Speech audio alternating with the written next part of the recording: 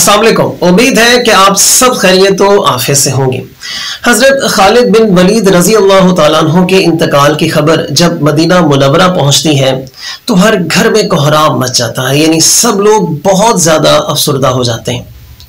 हज़रत खालिद बिन वलीद रज़ी अल्लाह तु की तदफीन का वक्त जब करीब आता है, यानी आपको कब्र में उतारे जाने का वक्त जब करीब आता है तो हज़रत खालिद बिन वलीद रज़ी अल्लाह तु का घोड़ा जिसका नाम अशजर था लोग देखते हैं कि उसकी आँखों से भी आँसू जारी हो जाते हैं। ये वो घोड़ा था जिस पर बैठकर हज़रत खालिद बिन वलीद रज़ी अल्लाह तु ने तमाम जंगें लड़ी थी।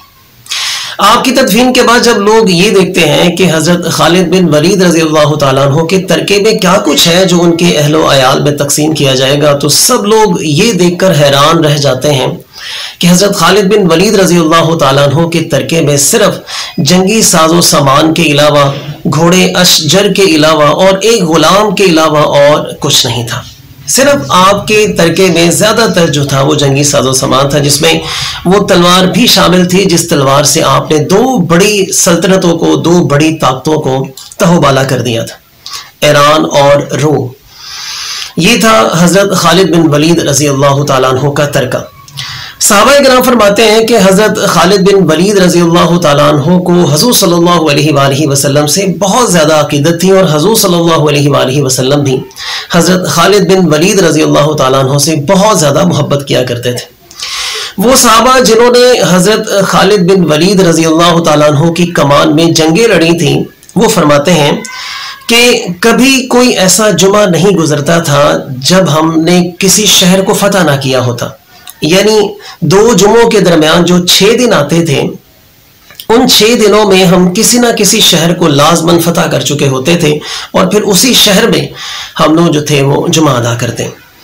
हज़रत खालिद बिन वलीद रज़ी अल्लाह से कुछ स्टेटमेंट्स भी यानी कुछ ऐसे सेंटेंसेस हैं जो आपने बोले जो आज भी आ, मैं ये समझता हूँ कि सोने के पानी से लिखे जाने के काबिल हैं। हज़रत खालिद बिन वलीद रज़ी अल्लाह फरमाते हैं कि अगर आपकी मौत लिखी ना हो तो फिर मौत आपकी ज़िंदगी की हिफाजत करती है। लेकिन अगर आपकी मौत लिखती गई है तो फिर आपकी ज़िंदगी भी मौत को आकर गले लगा लेती है।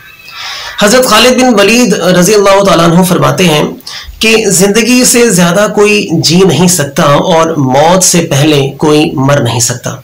हज़रत खालिद बिन वलीद रज़ी अल्लाह तु ये भी कहा करते थे कि मेरे दुश्मनों को पैगाम पहुँचा दो कि अगर मैदान जंग में जाने से इंसान की मौत वाक़ होती है तो फिर खालिद बिन वलीद रज़ी अल्लाह तु को बिस्तरे मरद पर मौत ना आती। यानी मैं मैदान जंग के अंदर जो है वो शहीद होता। सो दोस्तों, मैदान जंग में जाने से ये ज़रूरी नहीं है कि अगर आप जिहाद करने के लिए मैदान जंग में जाएँगे तो यकीनी है कि आपकी मौत वाक़ होगी, ऐसा नहीं है।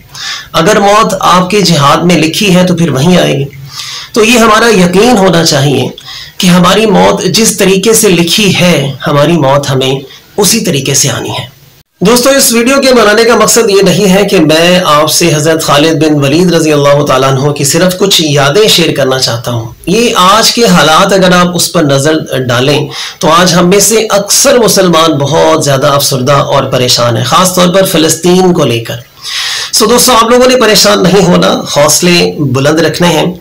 याद रखिएगा, हजूर सल्लल्लाहु वसल्लम की बहुत सारी हदीस से यह साबित है कि उम्मत मुस्लिमा के गलबे से पहले, यानी पूरी दुनिया में उम्मत मुस्लिमा के गलबे से पहले, इस्लामी निज़ाम के आने से पहले, दीन के फैलने से पहले उम्मत मुस्लिमा का बहुत जब बहुत बड़ा जानी और माली नुकसान होगा। हो सकता है कि आने वाले दिनों में इससे ज़्यादा फ़लस्तीन में या दीगर इलाकों में जो मुस्लिम इलाके हैं, वहाँ पे हमें ज़्यादा परेशानियों का, ज़्यादा अमवाद का जो है वो सामना करना पड़े। सो इस सिचुएशन में हमें हज़रत खालिद बिन वलीद रज़ी अल्लाह तु के इन सेंटेंसेस पर गौर करना चाहिए कि अगर आपकी मौत लिखी नहीं है तो फिर मौत आपकी ज़िंदगी की हिफाजत करेगी। सो so, दोस्तों हमारा इस पर कामिल यकीन होना चाहिए कि जिस तरीके से हमारी मौत है हमें उसी तरीके से आनी है। अगर मौत लिखी है तो आनी। सो so, हमें परेशान नहीं होना हमें घबराना नहीं है। इस सिचुएशन में हमने एक दूसरे को हौसला देना है एक दूसरे के लिए हौसला बनना है हमें। और फिर हमने इस्लाम के गलबे के लिए अपनी अपनी जगह पर रहते हुए हमने तैयारियाँ भी करनी है। यानी अपनी ज़िंदगी को दीन के मुताबिक बनाने की कोशिश करनी है। फिज़िकली भी खुद को फिट करना है कि अगर हमें जो है वो मुकाबला करना पड़ जाता है कहीं पर तो हम पीछे ना हटें। सो दोस्तों, उम्मीद करता हूँ कि इस वीडियो के ज़रिए आपके लाइफ में कुछ लाजमन ऐड हुआ होगा, आपके नॉलेज में इजाफा हुआ होगा। आप सब अपना और अपने आसपास के लोगों का बहुत सारा ख्याल रखिएगा। अल्लाह हाफिज़।